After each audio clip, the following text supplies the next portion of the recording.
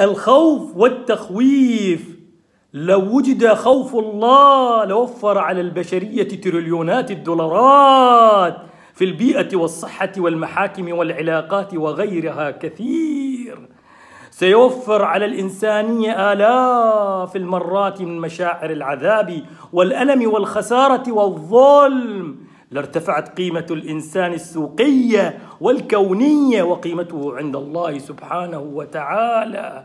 إما أن تخاف من الله أو أن يخوفك الله. إما أن تكبر الله في وجودك أو أن يصغرك الله في حياتك.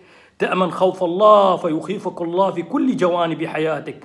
عدم خوفك من الله في الاعتداء على الأشخاص والأمم والشعوب يهيئ الله من يجعل حياتك رعب وفزع وخوف.